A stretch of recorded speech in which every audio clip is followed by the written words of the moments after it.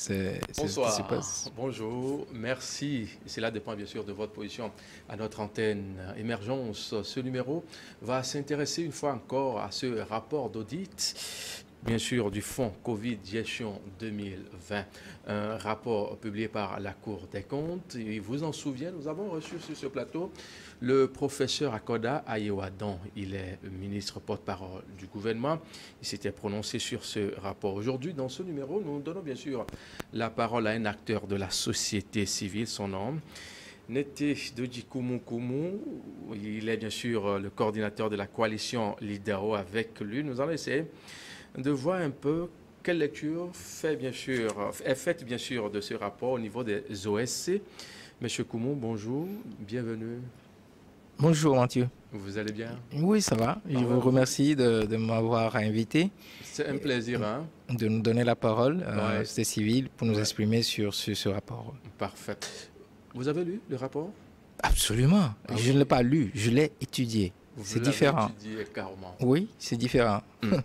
Alors, euh, d'entrée de jeu, après avoir lu ce rapport, vous parlez d'abus de confiance lors de votre point de, euh, de presse. Qu'il y a abus de confiance. D'abord, qu'est-ce que vous voulez dire par là? Bah, Permettez-moi d'abord de remercier les organisations de la société civile qui ont décidé, avec la coalition LIDAO, de- d'apporter une réponse collective et concertée dans le cadre de, de- de ce rapport Oui. et lors de la conférence de presse qui a eu lieu euh, hier, le 14. Alors, pour euh, répondre à votre question, nous avons analysé le, le contenu du rapport et nous avons, nous avons constaté que les faits euh, sont graves, euh, je dirais même inqualifiables à un certain niveau. Et nous avons qualifié ces faits parce que c'est le rôle de la société civile.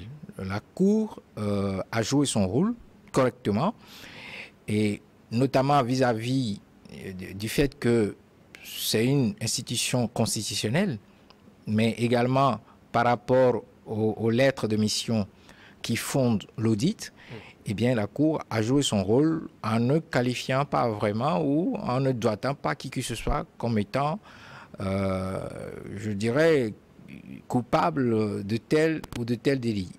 Mais au niveau de la société civile, notre rôle, c'est d'analyser en profondeur le, contenu du rapport et de qualifier les faits. Donc dans cette qualification, effectivement, nous avons constaté qu'il y a un double abus de confiance, notamment vis-à-vis des plus hautes autorités de la République.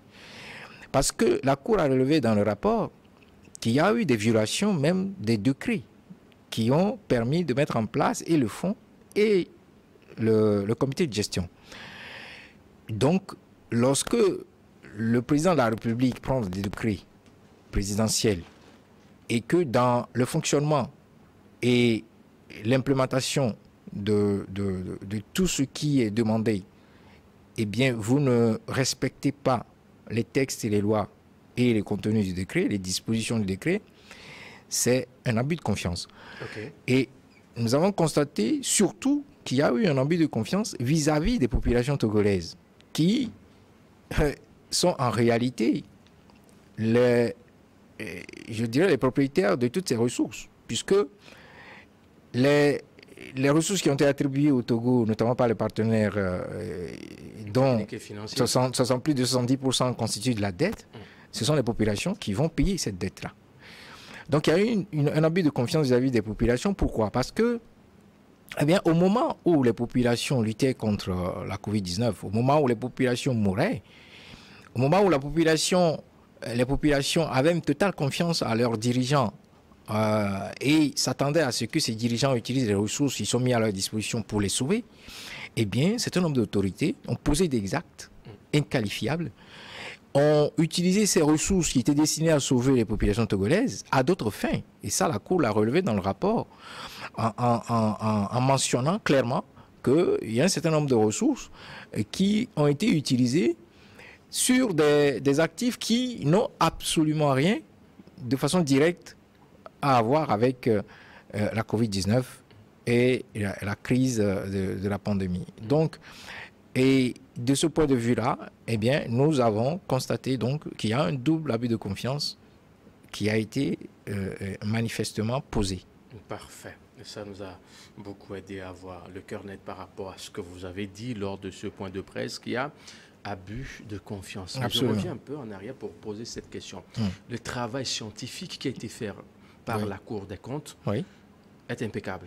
Absolument. Nous, nous considérons que la méthodologie, la procédure et de vérification et de recoupement des informations, de, de, procédures diligentes pour aller sur le terrain, pour vérifier les faits, pour demander les, documents requis sur le plan comptable, eh bien, la Cour a fait son job.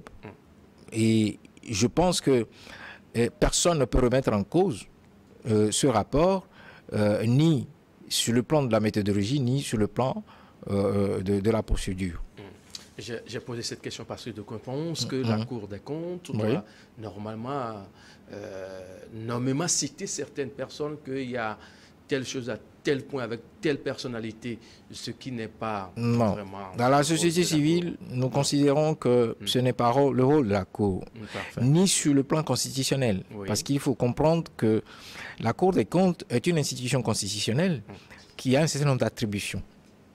Et la Cour des comptes a pour rôle de vérifier les comptes publics, notamment euh, des administrations publiques, des collectivités territoriales et des entreprises publiques, d'écrire des rapports et de mettre ces rapports sur la table du président de la République. Voilà le rôle constitutionnel dévolu à la Cour. Maintenant, conformément aux lettres de mission euh, de 28 janvier 2020, euh, eh bien, qui définissent le cadrage de l'audit. Et pour nous, à la société civile, nous considérons que la Cour n'avait pas pour rôle d'opérer une quelconque qualification ou de condamner qui que ce soit. Et ce rôle-là, et nous allons le voir tout à l'heure, est dévolu à la justice. Parfait. Oui. Dans votre déclaration, bien sûr, lors de, cette point, de ce point de presse, en date bien sûr du 14 février 2023, vous avez bien sûr parlé de la fraude. Quels sont les faits qui attestent ce que vous déclarez là? Bah, C'est simple. Je prends juste un exemple, un premier exemple. Hum.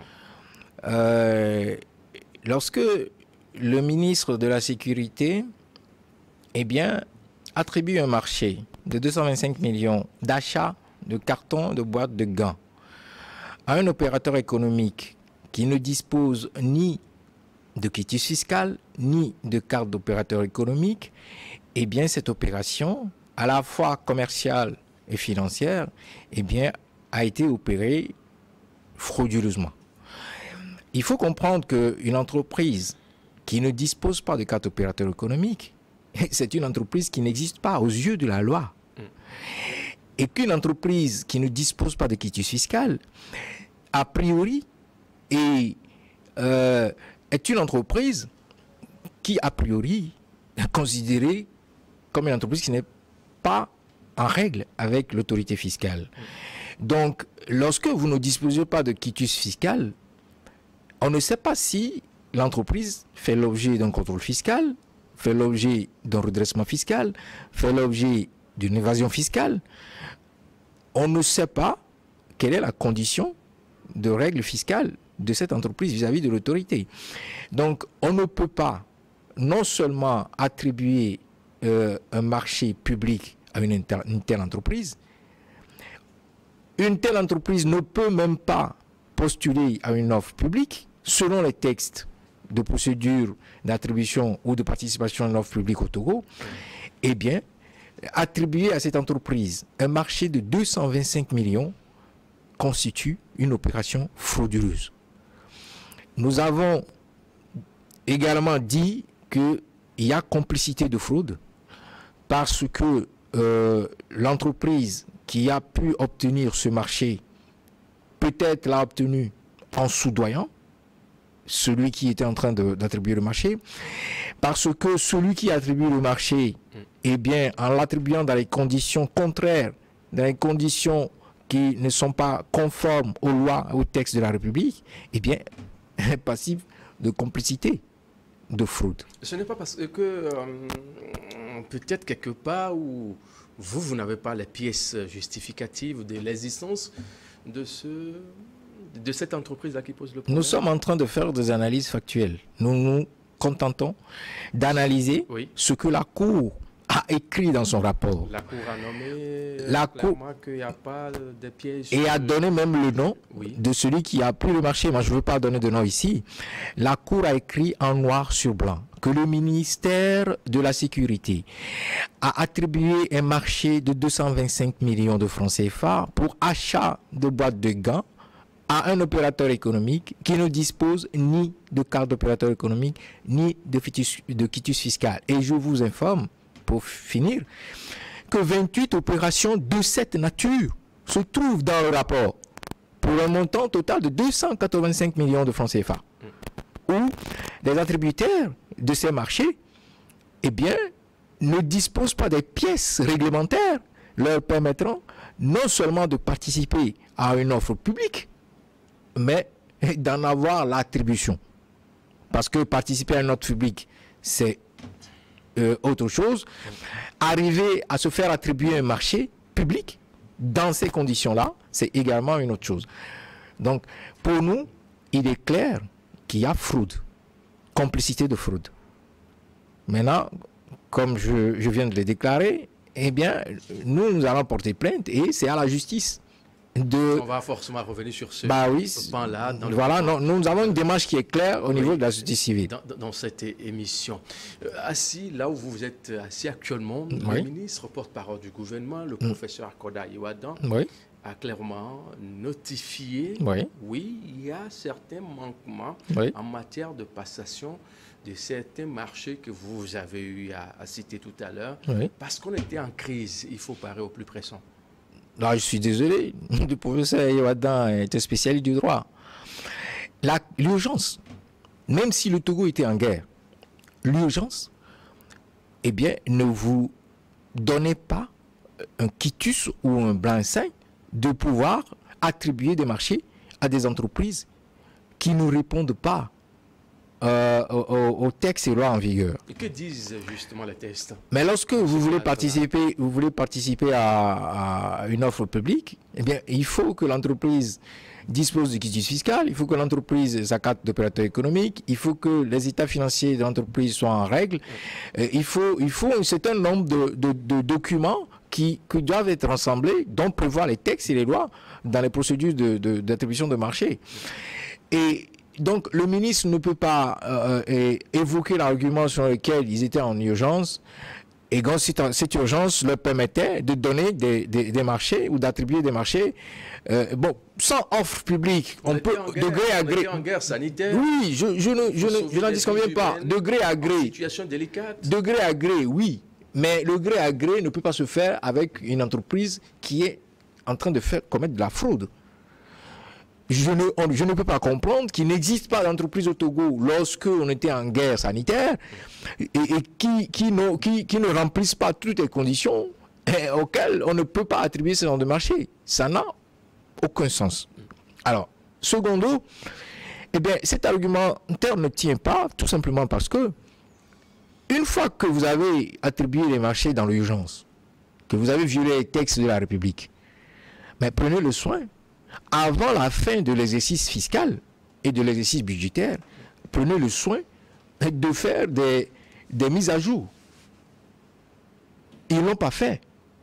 Et ça, ça cause un véritable entorse au budget de la République. Et ça me remet en cause la loi rectificative de finances exercice 2020. Parce que le ministre de l'économie et des finances ne pouvait pas voter cette loi rectificative alors que les opérations étaient entachées de fraude et que les pièces qui auraient dû être régularisées n'ont pas été régularisées. Lorsque on commande du riz et que la Cour fait mention dans le rapport qu'il n'y a pas eu de PV de réception des 31 500 tonnes de riz commandées à plus de 8 milliards de francs CFA. Eh bien, on ne peut pas. une fois que ce PV de réception n'a pas été euh, euh, prouvé, n'a pas été produit, eh bien, le ministre de l'économie et des finances ne peut pas voter une loi rectificative qui clôt l'exercice budgétaire. Parce qu'il faut comprendre que les 400 milliards de ces fonds ont été intégrés par le décret du président de la République dans le budget. Alors, la conséquence, c'est que euh, ces, dépenses et ces recettes, ces mobilisations de ressources, eh bien, feront l'objet de ce que nous appelons la loi de règlement. Mhm. Lorsque vous votez le budget, loi de finances, lorsque par euh, des circonstances, vous êtes obligé de voter une loi rectificative, eh bien, après euh, l'exercice clos, il faut voter une loi de règlement. La loi de règlement, c'est cette loi-là qui acte les dépenses exactes et les recettes exactes qui ont été euh, initiées, utilisées durant l'exercice en question.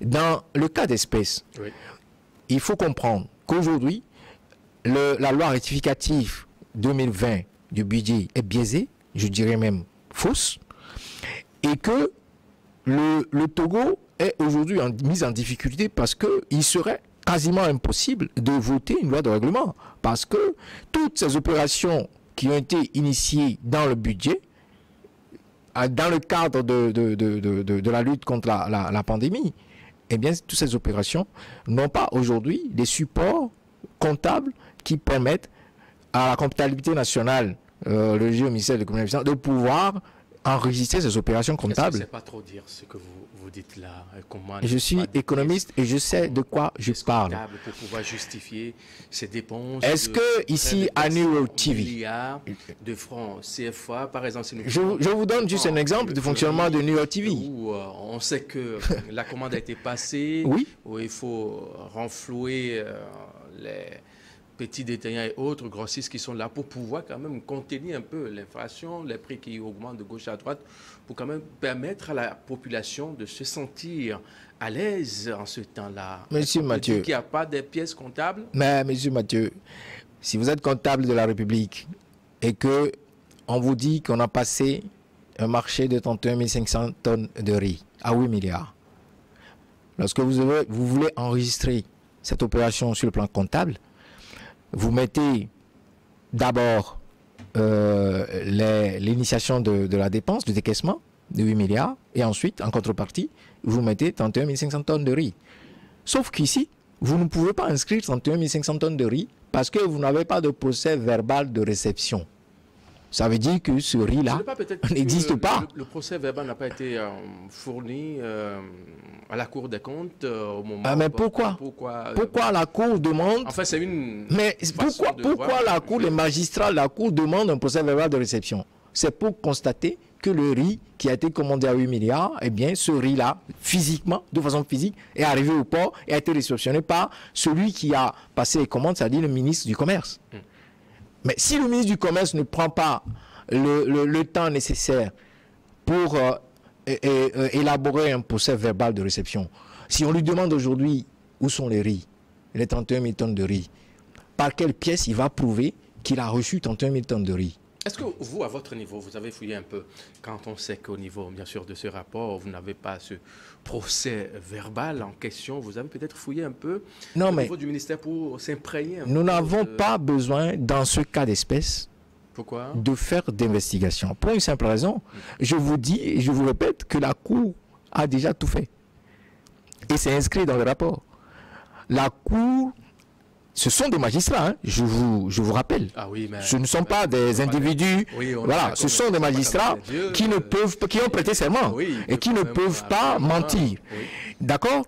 La Cour a expliqué la méthode utilisée dans le rapport.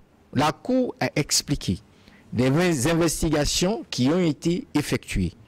Et dans ces investigations, par exemple, la Cour a constaté, dans ce cas d'espèce, que il n'y avait pas de procès verbal de réception de, 38 tonnes de, 500 tonnes de riz. Et il a demandé, elle a demandé à ce qu'on lui produise ces procès verbal pour savoir exactement quelle est la contrepartie des 8 milliards qui ont été décaissés pour le compte de l'État.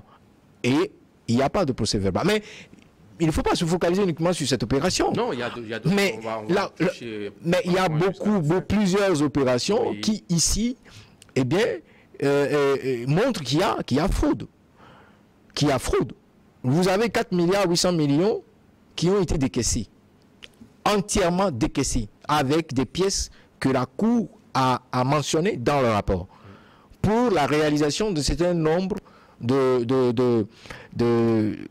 d'opérations sur des sites que la Cour a cités. Ces opérations ont des numéros d'enregistrement différents. Vous, parlez de quoi concrètement euh? Je parle de ce que la Cour a appelé des marchés qui n'ont jamais été réceptionnés. Marchés construits euh, pour pouvoir permettre euh, aux populations à l'intérieur de se sentir ou comment? Je me contente de vous dire ce qui, ce qui se trouve dans le rapport. Vous avez neuf marchés qui doivent se réaliser sur des sites de Anero jusqu'à Sinkasé, dont les montants sont supérieurs ou égaux à 556 millions de francs CFA, dont le montant global est autour de 4 milliards 800 millions. Ces neuf marchés n'ont pas été réceptionnés jusqu'au jour où la Cour était en train de produire le rapport définitif. Et chose curieuse, dans ces neuf marchés, nous avons constaté que huit opérations avaient exactement le même montant. Et ça, ça m'a choqué. Je n'ai pas compris, mais bon, sur neuf opérations, huit avaient exactement le même montant. Il n'y a qu'une seule opération dont le montant était différent.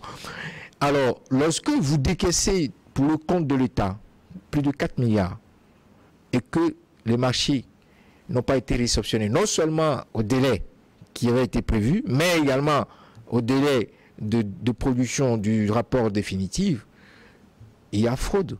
Et là, je vous dirais même qu'il y a détournement de fonds publics. Et maintenant, si, les marchés ne sont pas hum, déjà disponibles, construits pour que ça soit bah, réceptionné. monsieur Mathieu, je ne sais pas si vous avez... Nous ne parlons pas de 10 000... Non, on veut bien comprendre. Oui, il faut éclairer la Nous ne parlons pas ici de 10 000 francs CFA. Nous ne parlons pas ici de 100 000 francs CFA. Nous parlons de marchés de plus de 500 millions. Du moment où, par exemple, c'est une, éventualité si les marchés ne sont pas encore... Euh, la construction n'est pas encore terminée. Euh, mais écoutez, je vous dis ce que la Cour a dit. La Cour dit que ces marchés ont ont sont des commandes qui ont été passées pour leur réalisation. Hmm. Et que les montants dont je vous parle, les 4 milliards, ont été décaissés entièrement.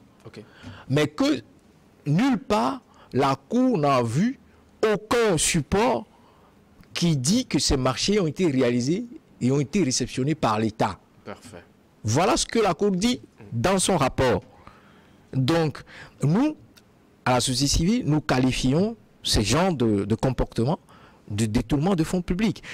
Mais là, quitte à la justice, lorsque nous allons porter plainte, y a de trancher. Voilà. Nous, nous avons analysé les opérations. Nous ne voulons pas extrapoler les, déclarations qui sont contenues dans le rapport. Nous n'avons pas besoin aujourd'hui au niveau de la société civile de faire plus d'investigations. Nous laissons ça à la disposition du procureur de la République. Si, évidemment, il y aura euh, suite judiciaire à, cette crise, à cette euh, anomalie euh, budgétaire, d'opérer toutes les investigations nécessaires pour confirmer ou non les déclarations de la Cour. Nous, nous analysons le contenu d'un rapport produit par une institution constitutionnelle qui est la Cour des comptes et nous avons vu dans le rapport noté que la Cour a, observer, à respecter toutes les procédures nécessaires qu'il faut respecter dans le cadre de ces genres d'audit, eh bien, nous nous basons uniquement, de façon factuelle, sur ce qui se, trouve dans le rapport, nous l'analysons, et au niveau de la société civile, nous qualifions les faits. Voilà. Parfait. Dans votre déclaration lors de ce point de prêche, vous avez eu également à toucher d'autres fait. Je veux bien sûr parler bien sûr de cette fraude fiscale selon votre déclaration. Vous estimez qu'il y a manquement et vice de procédure par rapport à un marché de 318 millions de francs CFA au niveau du ministère de l'enseignement primaire et secondaire, euh, secondaire technique et de l'artisanat et celui du ministère du développement à la base. Absolument. Absolument. Monsieur Ayawada, qui est professeur de droit, Monsieur Kokoroko, qui est professeur de droit, qui sont à la tête du, ministère de la Communication et du ministère de, l'enseignement primaire et secondaire, eh bien, ne me démentiront pas.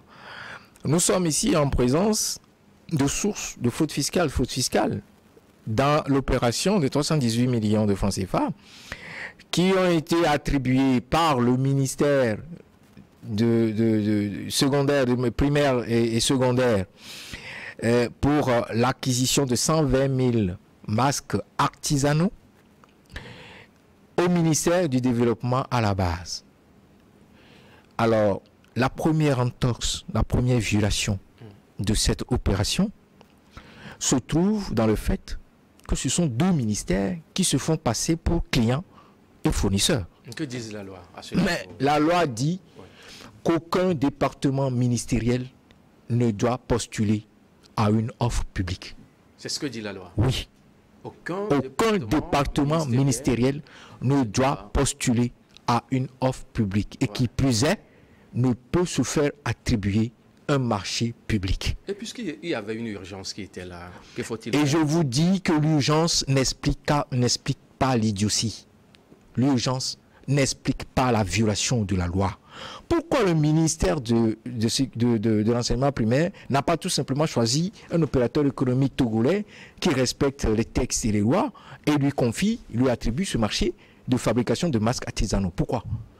Pourquoi le ministère de, l'enseignement secondaire est obligé d'attribuer ce marché à un autre ministère qui, lui, va sous-traiter le marché de 318 millions de francs CFA?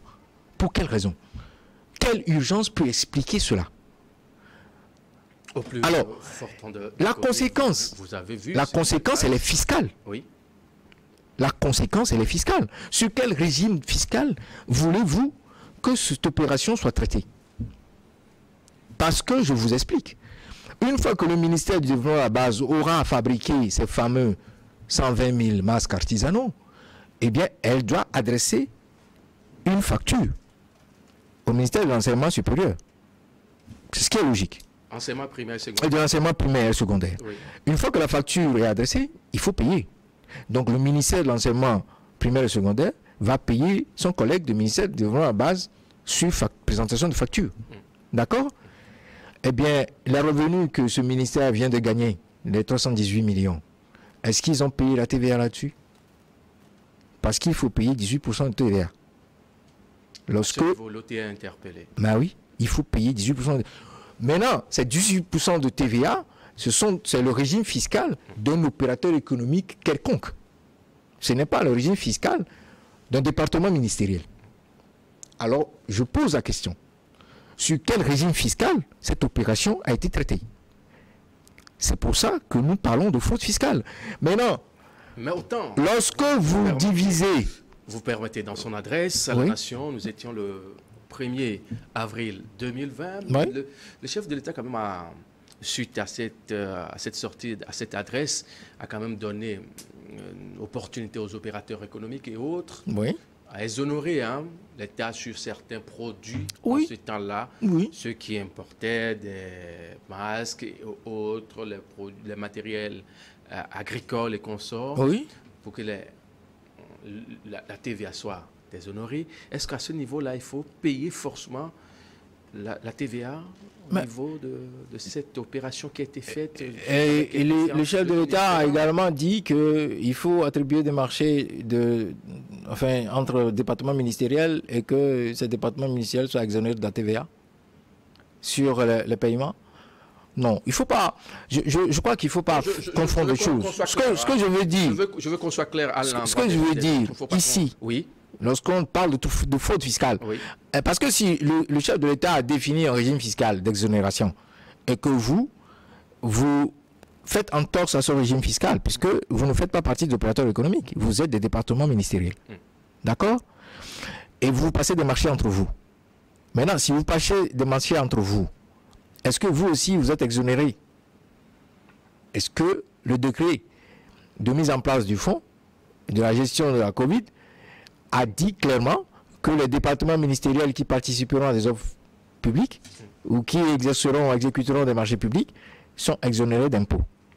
Je ne pense pas. Alors ici, lorsque vous divisez les 318 millions par 120 000 casques de masques artisanaux, vous obtenez plus de 2000 francs CFA par masque.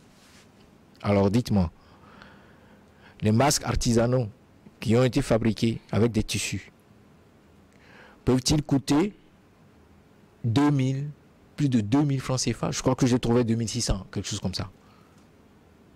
Vous pensez vraiment? Mais c'est ce qui a été fait. Bon, maintenant, entre le ministère du Développement à la base et l'entreprise par laquelle ce marché a été sous-traité, puisque je, je, considère que le ministère du Développement à la base n'est pas une, entreprise fabricante de, masques artisanaux. Donc, ils n'ont pas cette qualification en leur sein. Ils ont certainement dû sous-traiter eh bien, ce marché. Eh bien, la Cour ne dit rien. Voilà des aspects qui doivent être éclairés, non seulement en ce qui concerne eh, la manière dont le, marché a été sous-traité avec l'entreprise à laquelle ce marché a été sous-traité, mais également le traitement fiscal qui a été fait. Est-ce que ce traitement fiscal est conforme au, traitement fiscal qui était réservé, comme vous venez de le dire, eh, eh bien, eh, dans le cadre de ces opérations pour les, opérateurs économiques. Mais en tout état de cause, nous estimons au niveau de la société civile que face à une telle opération, il y a faute fiscale. Maintenant, et par rapport à toutes les qualifications que nous avons mentionnées et les exemples précis que nous avons donnés, les explications que nous avons données, eh bien, ce sera dorénavant à, la justice togolaise et de nous situer, tout simplement. Un autre point qui attire notre attention, la sortie de flux financiers illicitement gagnés par la méthode de l'import over invoicing. C'est quoi concrètement? Il s'agit de l'import over invoicing. C'est la surfacturation des importations de biens. Et, cette euh, méthode, c'est Global Financial Integrity qui l'a mentionné dans le cadre des études qui ont été menées sur euh, les, sorties de flux illicites, aussi bien dans, les pays d'Afrique subsaharienne que dans tous les pays du monde. Alors, ici, en étudiant à tête reposée la commande de caméras, eh bien, nous nous sommes rendus compte que nous sommes en présence de l'utilisation de cette méthode-là où, eh bien, euh, un, disons, un, État, un représentant de l'État passe une commande d'un bien d'importation et surfacture la commande. Alors, je donne un exemple. Supposons que c'est un million de francs CFA. Eh bien, il va demander à ce que le fournisseur puisse lui produire une facture de 4 millions, de 5 millions de francs CFA et il va produire cette facture à l'État. L'État va payer euh, la commande à 5 millions de francs CFA et, le représentant de l'État en question va demander à son fournisseur de transférer le solde sur lequel il se sera entendu sur les comptes offshore. Donc, dans le cas de la, de, la commande sur les caméras, sur les six caméras, la Cour a dit clairement qu'il manque une caméra. Euh, une caméra, pardon. 12 500 000 francs CFA. Une caméra. Voilà. De 12, qui manque à la réception. C'est ce que la Cour dit. Alors, où sont passés les 12 500 Secondo, la Cour a fait une étude comparative entre les prix euh, auxquels ces caméras, ces six caméras ont été achetées et la caméra qui se trouve aujourd'hui fonctionnelle, opérationnelle à l'aéroport international Yadema. Et la Cour a constaté que ce, cette caméra fonctionne correctement depuis plus d'un an et que le prix auquel cette caméra a été achetée est nettement inférieur au prix de 12 500 Est-ce que c'est la même marque? La Cour n'a pas précisé euh, dans le rapport les marques, n'a pas précisé les fournisseurs, n'a pas précisé les coûts d'échange. À, ce niveau-là, on ne peut pas parler, bien sûr, de Je me contente de vous dire ce que la Cour a dit. nous, euh, dans ce studio, euh, on a plusieurs caméras à notre niveau. Oui. On est pour faire des émissions avec des caméras robots et autres. Oui. L'un de vouloir dédouaner qui que ce soit dans cette affaire. Maintenant, si on ne précise pas la marque du caméra, de la caméra qui est achetée, tout oui, oui. et on produit les rapports à ce niveau comme ça. Est-ce que vous, à votre niveau, est-ce que ça... c'est pour ça que nous, au niveau de la société civile, nous, ne nous, ne restons pas juste au niveau des qualifications des faits. C'est pour ça que nous avons décidé de porter plainte. Parce que, je vous le dis, je vous l'explique, eh bien, ce sera à la justice de poursuivre les investigations. Donc, de voir si l'étude comparative de la Cour qui dit que le, coût d'achat de caméras, de six caméras, est nettement supérieur à celui de, l'aéroport international, eh bien, c'est à la justice de le confirmer. Mm. Alors, ce qui, pour finir avec ce, dossier-là, la Cour a constaté que sur les six caméras, il y a une qui manquait, il y a quatre qui sont inopérationnelles, qui ne fonctionnent pas, et qu'il n'y a qu'une seule caméra installée au niveau du port autonome de Lomé qui fonctionne. Donc, pour nous, il, s'agit ici d'une opération de sortie de, ressources illégalement gagnées, puisque c'est de la surfacturation, et qui sont sorties du pays et certainement qui se retrouvent aujourd'hui dans un compte offshore. Maintenant, euh, je viens de le dire, de le souligner, on verra ce que va dire la justice. Si la justice veut donner une suite judiciaire à toutes ces malversations. Hmm. Vous avez touché d'autres points également. On va essayer juste de les brosser, bien sûr, euh, concernant l'eau potable. Euh, oui, c'est la Cour qui garage retapé qui aurait coûté cette affaire de logo 15 millions de francs Bon, ça, nous ne l'avons pas, nous n'avons pas donné. Bon, il y a, il y a tous ces faits-là dans le rapport, mais nous n'avons pas, dans, au niveau de la conférence de presse, nous n'en avons pas, pas parlé. Nous allons, euh, nous sommes en train d'écrire un document beaucoup plus élaboré et, lorsque ce document aura fini, eh bien, nous allons l'adresser à qui, à qui de droit. oui, de, toutes les valeurs, nous ne pouvons pas porter plainte si nous ne produisons pas un bon document mm. sur lequel eh bien, la justice devrait se pencher. vous portez plainte contre qui là? Nous portons plainte contre X, dans le cadre de cette, euh, ces malversations financières et malversations de passation de marché qui ont été opérées euh, dans, dans, le cadre de la COVID-19, de, de, la gestion de, du fonds de riposte de solidarité de la COVID-19. Parfait. Selon le porte-parole du gouvernement, il n'y a pas question d'être polémiste hum. sur les dépenses hum. euh, qui ne sont pas vraiment, enfin, les dépenses qui ont été faites dont on n'a pas fait forcément des, des, preuves comme vous le dites. C'est seulement la procédure qui n'a pas été totalement respectée car on était en crise. Mm. Et il faut parer au plus pressant. Est-ce qu'à ce niveau-là, euh, on peut dire aujourd'hui que tout ce qui a été fait au temps de Covid, euh, tout, est, tout a été bâclé, il n'y a pas quand même quelque chose à mettre sous la dent, comme on le dit, quand même, le Togo a été félicité. On a apprécié la démarche de la riposte du de, coronavirus au Togo. On voit comment ça a été encadré de bout en bout jusqu'à la fin. Oui, mais aujourd'hui, nous, Action civile, nous n'intervenons pas sur ce sujet-là.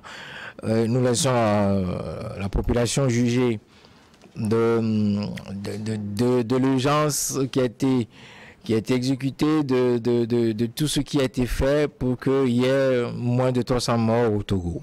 Ce n'est pas euh, aujourd'hui le souci de la société civile. Le souci de la société civile, c'est qu'il y a des ressources financières qui ont été mises à la disposition des autorités togolaises dans le cadre de la gestion de la riposte de la Covid et qu'à un moment donné, l'autorité a demandé à ce qu'un audit soit mené sur euh, la gestion de ce fonds-là. Et l'audit a été mené, exécuté, selon les procédures, je dirais, euh, conformes, euh, légales par la Cour des comptes, et la Cour des comptes a produit un rapport. Nous, au niveau de la société civile, nous nous prononçons sur le contenu de ce rapport. Alors, le ministre Ayewadan peut dire tout ce qu'il veut, ça l'engage. Je lui rappelle que nous sommes en présence de crimes économiques. Et que, sous, hein. sous, oui, absolument, sous réserve du fait que je ne suis pas un spécialiste du droit, je pense, je pense qu'il n'y a pas de délai de prescription. Et donc, je demanderai à M. Ayewadan, il a déjà fait une sortie lorsque j'avais mentionné euh, le fait que il y avait euh, exportation de pétrole au Togo sur la base du rapport de, de euh, bon, je, je, je, je, reviendrai là-dessus, de la BCAO, en fait, de, de, oui, du rapport de la BCAO. Et que le Togo il m'a répondu en disant que ce sont des, des opérations d'import-export, quelque chose de ce genre. Et je lui ai fait comprendre. On ne fait pas de, du berger à la bergère. Lorsqu'on veut, non, lorsqu'on veut, lorsqu'on veut intervenir sur un certain nombre de sujets, il faut en avoir la maîtrise. Alors, et je laisse le gouvernement s'engager sur le chemin, bon lui semble. Je ne suis pas naïf. Non, vous, vous êtes dans votre rôle. Nous, en tant que société civile, nous ne sommes pas naïfs. Nous savons que ce qui se passe aujourd'hui, c'est toujours produit dans le pays. Hmm. À la fin de l'année 2022, j'ai produit trois conférences sur euh, la corruption au Togo. Et il se pourrait que l'impunité continue. C'est tout à fait possible. Mais ce que je sais, c'est que les faits sont là, le rapport, personne ne pourra plus euh, le, détruire ou euh, euh, ne pourra plus, je dirais, l'amender. Le rapport est produit, les faits sont clairement définis, clairement décrits dans le rapport. Eh bien, on verra bien comment tout ceci va finir. Hmm. Nous, en tout cas, en ce civil, comme le Sénégal et bien d'autres pays. On a vu hein, cette affaire de, la gestion des fonds Covid, ce qui s'est passé dans plusieurs pays. Oui. Alors, à ce niveau, quelle est la leçon, quelle est la leçon à tirer? Bah, Déjà, il faut dire que nous, nous allons porter plainte contre X. Nous demandons à ces civils le la démission de tout le gouvernement, parce qu'il est clair. Carrément, hein, la démission de tout le gouvernement. Absolument, tout le gouvernement. Et nous disons que, dans le point 3, que aucun ministre, ministre délégué, aucun conseiller rien rang de ministre, aucun secrétaire d'État qui figure aujourd'hui dans ce gouvernement ne doit plus figurer dans le gouvernement qui va être mis en place après la démission de ce, gouvernement. Eh bien, cette démission, elle est simple. C'est consécutif au fait que si il y a une suite judiciaire qui est donnée à cette affaire, eh bien, on ne peut pas convoquer un ministre qui est en fonction. Voilà. Donc, quelle est la leçon à tirer? Ben, C'est simple. Euh, il faut que son excellent président de la République saisisse cette opportunité et prenne ses responsabilités pour mettre fin à l'impunité économique. Il faut qu'il soit, par le biais de la APUSIA, et je pense que le nouveau responsable de la APUSIA a du pain sur la planche, par le biais de la APUSIA, le président de la République peut instruire au, nouveau président eh bien, de prendre le rapport, de l'analyser et de qualifier les faits et de, de, de, donner une suite judiciaire et politique. Ou bien il demande au procureur de la République eh bien, d'ouvrir l'information judiciaire. Dans tous les cas de figure, nous, à la société civile, nous ferons tout ce qui est en notre pouvoir pour que ce, ces crimes inqualifiables eh bien, euh, ne, ne, prennent plus corps dans notre pays. Voilà notre rôle. Parfait. Hum. Monsieur Koumou, c'est déjà la fin. Bah, je vous remercie de nous avoir invités et j'espère que vous allez toujours à notre côté pour euh, le suivi ah de, tout ce qui se passe dans, dans cette crise, entre guillemets, de, de, de Covid-Gate. Voilà. Mm, parfait, merci. Merci à vous. Passé. Vous êtes M. Nete Shidoji coordinateur de la coalition LIDAO. Messieurs, mesdames, merci pour votre fidélité. À très vite.